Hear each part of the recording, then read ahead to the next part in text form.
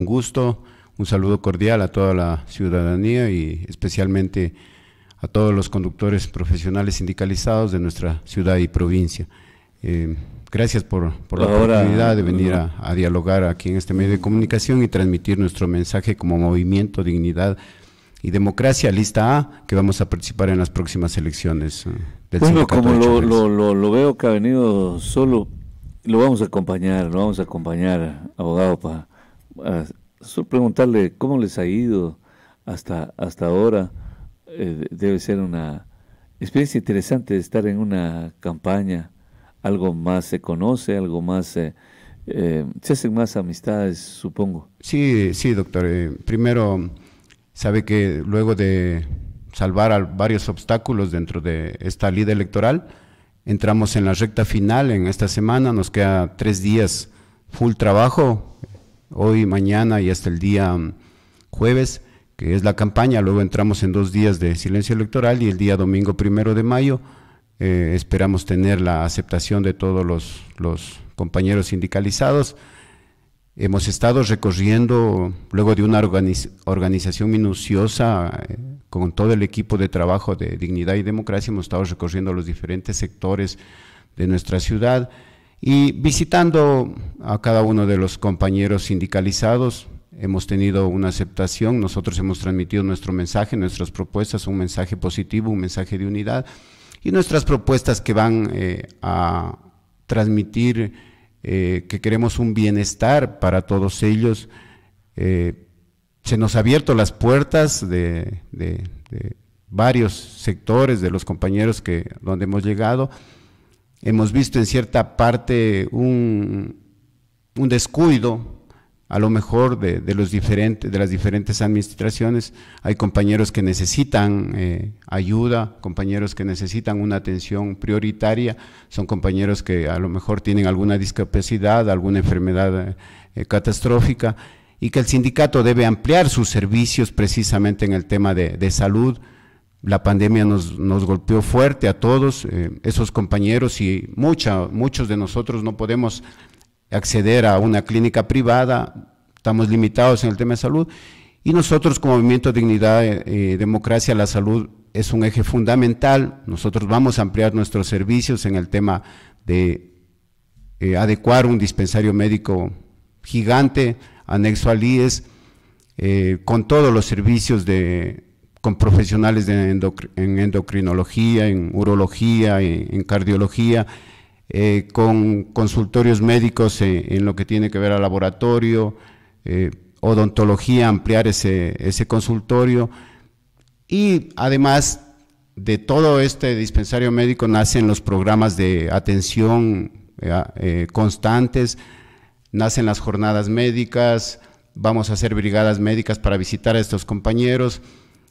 Aprovechando ese, esto, esta línea, tenemos que hoy martes y mañana miércoles vamos a hacer jornadas médicas en el Colegio de Médicos en la Avenida Universitaria cerca de la puerta de la ciudad de 9 horas a 16 horas, totalmente gratuitas para todos nuestros compañeros sindicalizados. Y eh, les hago la cordial invitación para que asistan, van a, venir, van a ver profesionales eh, de la salud y vamos a dar aquí una muestra, una cápsula de lo que podemos hacer. El sindicato es una institución grande, enorme, que puede ampliar mucho más los servicios. Hemos, eh, en esta línea hemos dicho, hemos conversado dentro del equipo de Dignidad y Democracia, que podemos establecer un fondo de ayuda, un fondo económico, un fondo solidario para llegar hacia estas personas eh, que más lo necesitan. Estos compañeros sindicalizados, el sindicato debe cobijarlos a todos estos compañeros con sus servicios, con su red múltiple de servicios.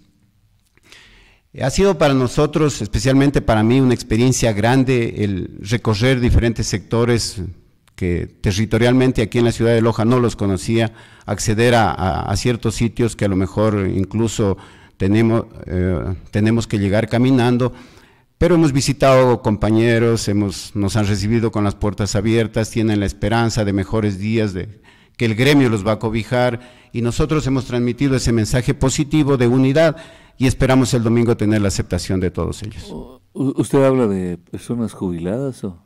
Sí, sí, de personas jubiladas, compañeros jubilados que ya eh, tienen su edad y que lamentablemente yo creo que a lo mejor por desconocimiento no ha accedido a parte de los servicios eh, en tema de salud que tiene el sindicato, pero más allá de eso yo creo que el, sindicato eh, debe ponerse y mirar con empatía a esos compañeros y llegar hacia donde ellos están. Eh, esos vamos a hacer mediante brigadas médicas.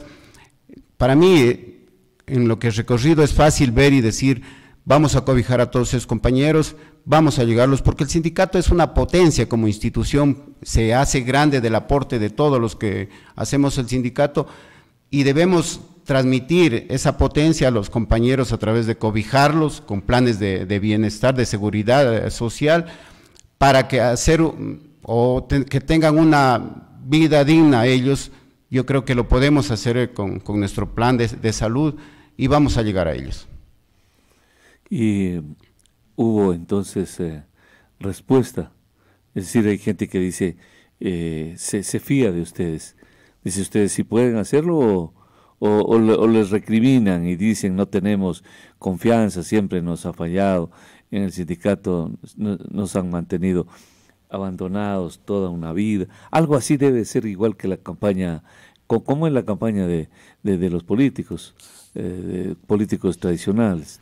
Mire, nosotros tenemos una ventaja que la experiencia que tenemos al frente de, como conductores profesionales, sumado a, la experiencia como dirigentes en el mundo del transporte, y formado de un gran equipo de trabajo que está al frente del movimiento Dignidad y Democracia, hemos eh, estructurado nuestro proyecto en propuestas, en planes que son viables, no demagógicos, y que se afirma en una base de conocimiento del trabajo realizado por el ingeniero Oscar Muñoz. Eh, como profesional he visto este trabajo, he visitado las instalaciones, lo que se ha construido físicamente, eh, a lo mejor ha faltado un poco de difusión, de comunicación de, de estos trabajos realizados, de esta obra, pero nosotros con esa base firme hemos delineado un plan de trabajo para los próximos cuatro años y el momento que comunicamos nuestro mensaje a los compañeros, ellos lo, lo aceptan, lo acogen y confían en nosotros.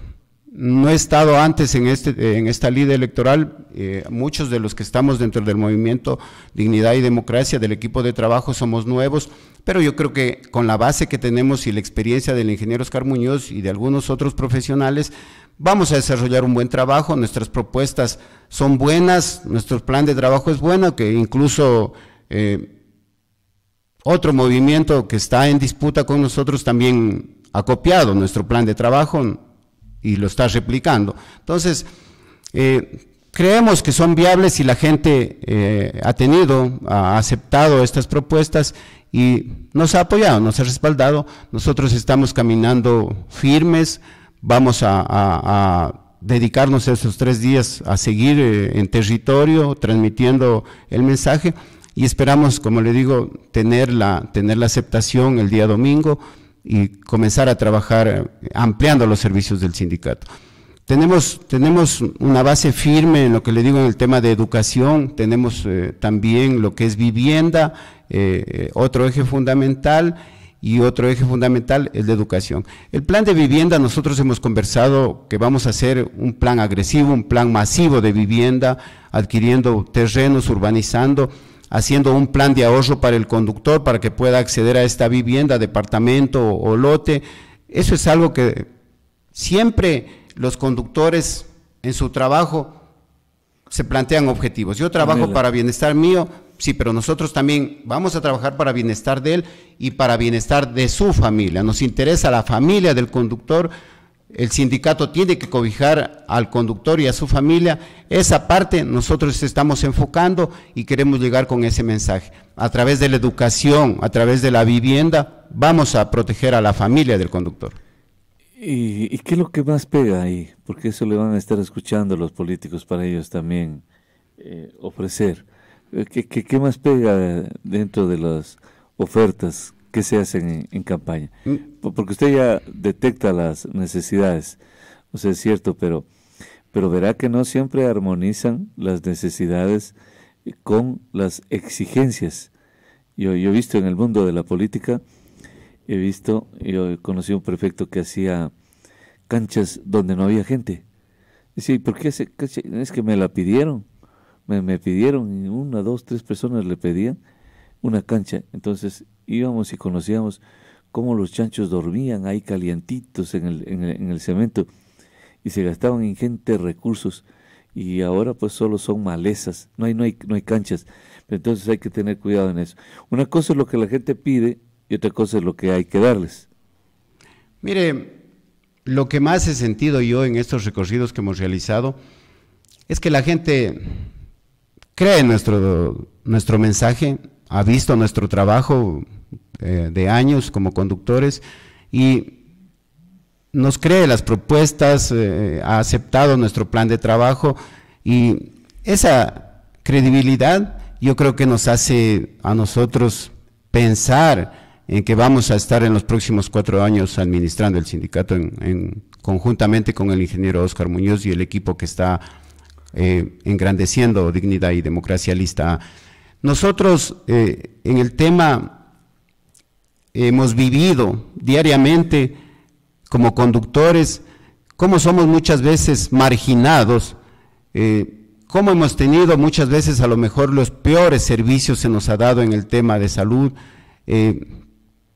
Entonces, hemos decidido que eso debe mejorarse sobre lo que está construido ya, sobre lo que está realizado.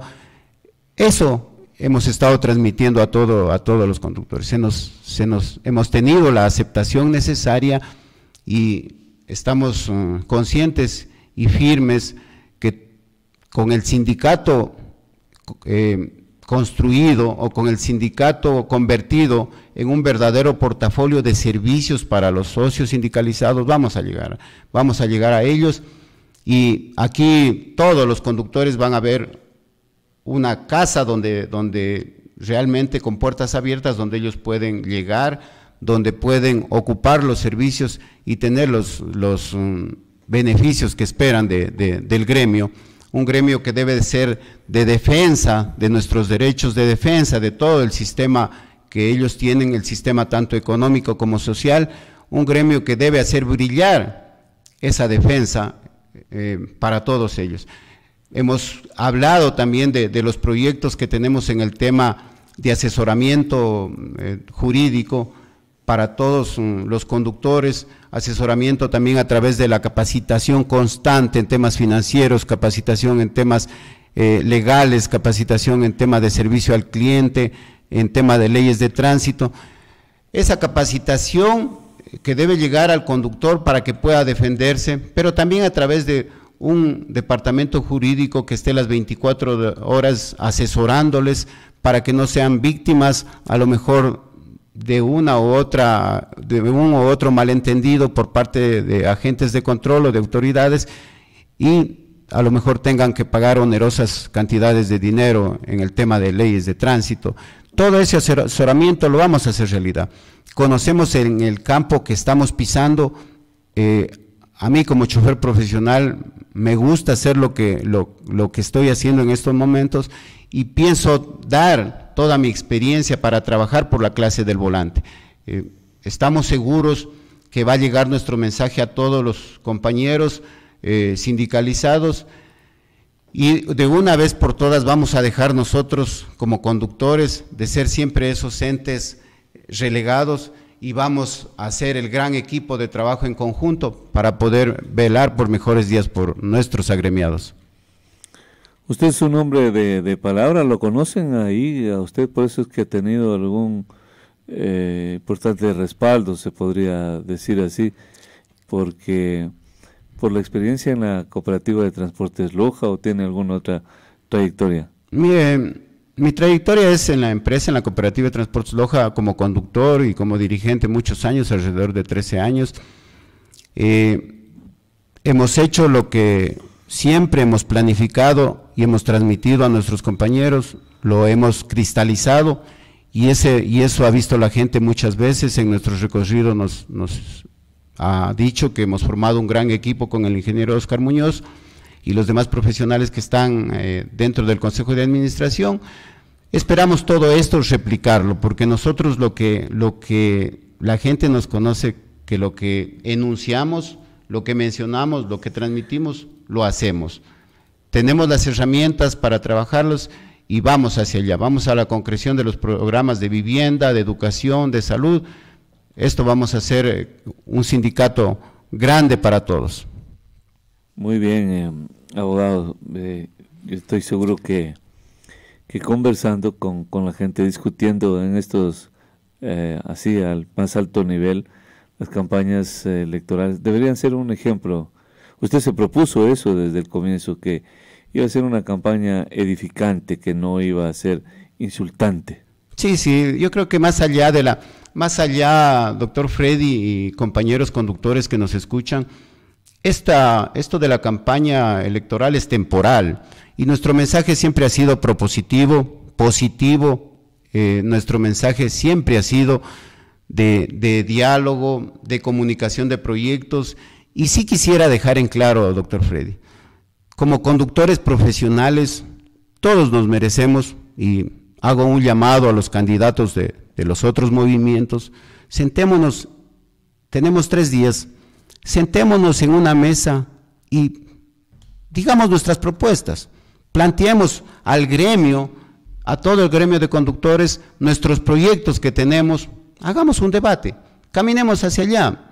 Puede ser hoy, mañana o el día jueves, para que el conductor demos ejemplo a las demás, a las demás clases, demos ejemplo a los políticos tradicionales que vean en la política que practicamos los conductores profesionales algo positivo. Vamos a un debate donde estemos eh, nosotros como, como aspirantes a la Secretaría General del Sindicato, de los tres, de los tres movimientos que estamos calificados. Sentemos en una mesa y debatamos. Pongamos las propuestas sobre el tapete, lo que vamos a hacer del sindicato en los próximos cuatro años y dejemos que nuestros compañeros decidan con quién quieren caminar, hacia dónde quieren ir. Dejo planteado por este medio de comunicación mi pedido que debatamos con altura, con educación, con respeto, yo creo que todos los conductores profesionales nos merecemos, nos merecemos ese mensaje de parte de los que estamos de candidatos y esa es mi propuesta, que la vuelvo a, a enunciar. Debatamos, compañeros que están aspirando a la Secretaría General del Sindicato de Choferes, tenemos tres días para hacerlo, fijemos una hora y fecha y estamos ahí. Ese es un pedido para todos los candidatos. Los compañeros conductores merecen escuchar nuestras propuestas, nuestras opciones. Entiendo que no, no, no hubo respuesta para, para el... Eh, como yo nunca soy muy partidario de los debates, más bien participo de la conversación que hay que desarrollar, porque este eufemismo, así nada más, solo decir debate, la gente cree que eh, hay que atacar, que hay que eh, intentar eh, agredir al otro para, para demostrar que yo sí soy un gran líder yo soy más fuerte. Pues a veces yo les he invitado a conversar, incluso charlar, si es posible, para, como lo hace usted, bueno, es un, en, sus espacios que, que, que han, han, han, podido reservar para, para poder conversarle a la gente lo que, de lo que están pensando hacer en el, en el sindicato. Yo, yo decía, yo recuerdo que ingresaba a este sindicato cuando salí de la cárcel y le tengo un enorme cariño, ¿no? Fíjense, la gente no, no, no sabe, por eso creen que, que sí que no nos da. Yo le tengo un enorme cariño al sindicato desde la experiencia en la cárcel. Cuando este entrañable amigo hombre, que no lo olvidaré, fíjense que yo no le tenía mucho afecto, no éramos amigos con el señor Jorge Jorge Erazo, Erazo. Erazo Ledesma, Erazo Ledesma era él, ¿no? Jorge Erazo Ledesma. Eh, enterándose de que no permitían mi, mi, presencia, el persecutor, hombre, inquisidor, que le fastidiaba mi presencia en la villa de los choferes que hay en la cárcel. Entonces, conocedor de que se hacían gestiones para que me muevan a los pabellones de alta peligrosidad en Loja, y se muere la risa. Así es la maldad del ser humano, ¿no? no resulta que no hay, pues, en, la cárcel. No hay, pero me han puesto ahí, pues, eh, en, en la villa de los choferes y pasaba ahí. Entonces, eh, don Jorge Erazo se entera de esto y envía una carta. Una carta muy sentida que no, no, no la puedo encontrar. Y fíjense que encontré unas tarjetas que quiero compartirlas la próxima semana con, con ustedes. Unas tarjetas eh, que, que, ya van a ver de qué se trata esta tarjeta. Es una tarjeta que diaria, eh, escrita a mano, eh, que, que había llegado a la cárcel. Esta carta eh, no, no, no puedo porque el uno se llevaba cartones, las fotografías, eh, materiales, eh, tantas cosas. Bueno, libros, me regalaron más de 300 y pico de libros. casi su mayoría quedaron en la cárcel. yo doné ahí esos libros. Y bueno, Jorge se entera de eso y como respuesta envía esta carta de rechazo, de protesta, amenaza, vos Y encima me envía una cafetera de esas industriales enorme cafetera flamante, envía una cocina de paquete y envía una refrigeradora de paquete. Fíjense esas cosas prodigiosas que solo hace Dios, cómo utilizan los hombres como instrumento, eh, querido abogado. Fíjense cómo no voy a recordar, cómo no van a recordar mis compañeros, cuántos estarán usufructuando a lo mejor todavía de eso, cuántos se habrían beneficiado eh, mi, presencia que, que siendo corto, eh, tres meses en realidad es una eternidad en la cárcel, eh, sirvió para que se mejore eso. Imagínense, la cocina quedó con, con cocina nueva, quedó con refrigeradora nueva, quedó con una cafetera nueva, y yo no sé si hasta televisor, porque eso era prohibido, pero pese a que sí había televisor ahí, nunca hubo tiempo para ver la televisión, pero había tiempo. Por eso es que cuando entré la gente me recibía porque habían visto en la televisión y ahora ya me veían adentro. no me veían en la televisión, ahora me veían adentro. Entonces yo le tengo un enorme cariño y empecé a frecuentar este sindicato. Yo le decía al doctor Iván Ludeña, este edificio, ustedes deben creer esta institución, es como un ministerio, es tan grande, es tan útil, es tan portentosa, es tan, es tan bonita, es tan servicial, es tan solidaria, este, tiene, tiene esa, tiene esa característica, esa, esa imagen de una institución solidaria. Por eso llegué yo también a involucrarme a quererla. No, no soy, no soy sindicalizado para no quitarles el, el cupo a otros, pero, eh, pero ¿cómo la quiero? Y yo creo que cualquiera que llegue ahí deberían responder a esta institución y mantenerla a, ese nivel como, como, como yo la concibo, eh, señor abogado. Mire, sus palabras mm, lo han dicho todo. Eh, yo guardo un enorme aprecio para el señor Jorge Razo Ledesma, tuve la oportunidad de, conocerlo, y él dejó su legado, dejó su legado eh, que se lo ganó, y parte de eso lo vamos a replicar eh, en nuestra administración. Tengo una imagen del señor Jorge Azoledesma y es los masivos planes de vivienda que hizo, las lotizaciones masivas que vamos a replicar esos agresivos planes de vivienda en nuestra administración. Eh, mis respetos para, para, esa, para don Jorge Ledesma, tuvo su tiempo y, y, hay que extraer todo lo que lo bueno que él dejó. Exactamente. Entonces, mm, dentro de eso, yo creo que como conductores profesionales, las diferentes em, administraciones que han pasado, hay que respetar. Eh, hay cosas que a lo mejor como seres humanos no, no, estamos de acuerdo, pero mi respeto para el legado que dejó don Jorge Razoledesma.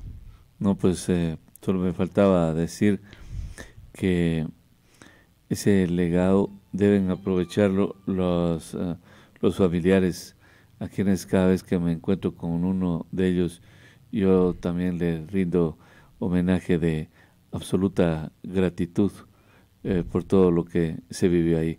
Le agradezco, señor abogado, despídase por favor. Eh, gracias, doctor, por la, por la oportunidad nuevamente. Quiero dejar eh, mi mensaje a los compañeros conductores, decirles que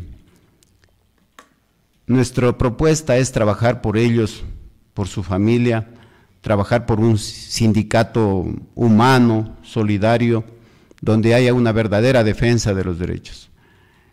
Creemos más allá de, nuestro trabajo, tenemos la firme convicción y esperanza de que con nuestro equipo de trabajo, con el ingeniero Oscar Muñoz, el movimiento Dignidad y Democracia, lista A, vamos a tener el respaldo de todos ustedes, compañeros sindicalizados, lo esperamos eso y siempre les dejo mi mensaje de, optimismo y de buenas vibras. Yo sé que vamos a llegar y conjuntamente con ustedes vamos a hacer un sindicato más grande.